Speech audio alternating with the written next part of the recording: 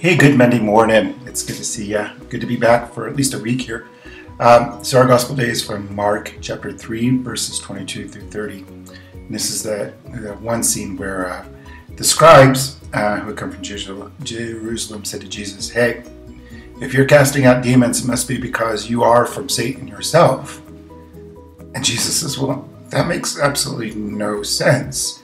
Uh, and he calls them on it. Basically t- uh, talks to them about logic, saying, You know, if I were coming from Satan, why would I uh, destroy my own work then? Because demons are being expelled. Says the house divided against itself cannot stand.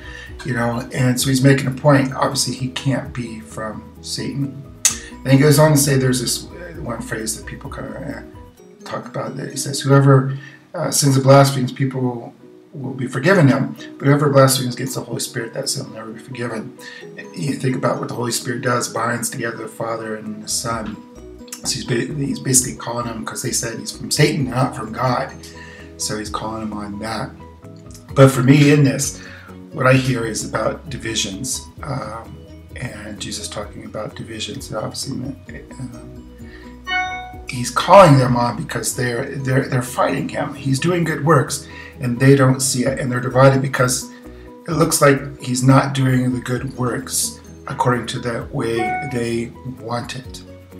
And I think we all can kind of get into that. Um, it's about ego.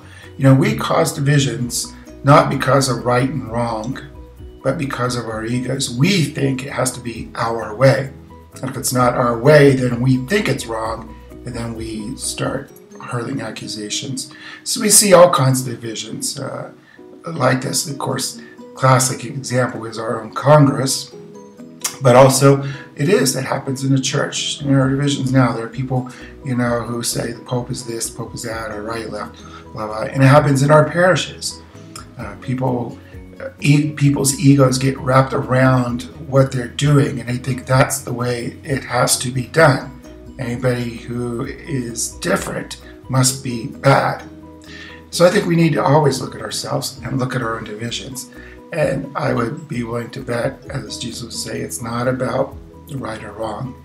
It comes from our egos uh, that we are causing divisions because we are basing everything on our ego. So maybe we need a little bit more humility, a little bit openness, which the Holy Spirit brings to us, to open us up, to open our eyes up so we can see the ways of others and to see beyond our, our narrow frame of reference, our own egos. Okay, hopefully that is more than just a, a Monday morning ramble after one cup of coffee. But uh, I'll see y'all tomorrow. Uh, hey, uh, Nevadans, Renoites, uh, let's hope that the storm that comes in tomorrow, uh, I know they're only seeing a few inches up in the mountains, but maybe uh, it'll get stuck here and we'll just drop, drop, drop snow. Okay, take care. Bye bye.